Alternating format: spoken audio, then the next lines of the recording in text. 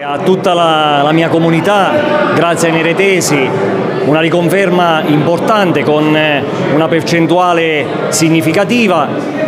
e prima ancora con un'affluenza alle, alle, alle, urne che è superiore a quella dei comuni limitrofi e in generale al trend nazionale dove si sono svolte le elezioni amministrative, siamo 10 punti percentuali sopra quasi il 70% di concittadini che si sono recati alle urne e questa è una grande vittoria, già questa. I dati sono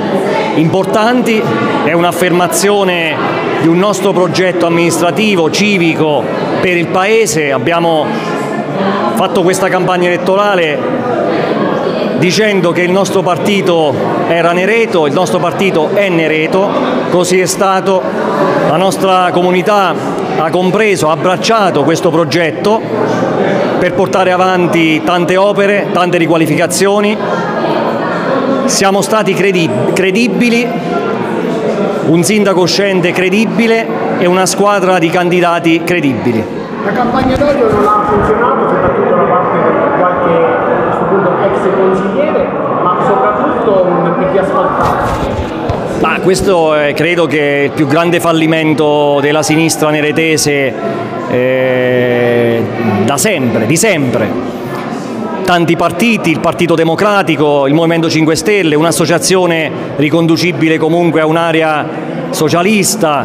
tante sigle, lo abbiamo detto in campagna elettorale, contenitori vuoti,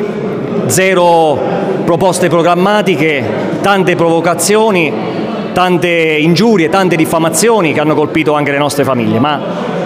di questo non voglio parlare. Noi dobbiamo parlare di altro, di programmi, di contenuti, 10 milioni di euro di investimenti sul nostro territorio, di cui 8 di fondi sovraccomunali e non solo di fondi PNRR, il più grande investimento, investimenti, più grandi investimenti da sempre.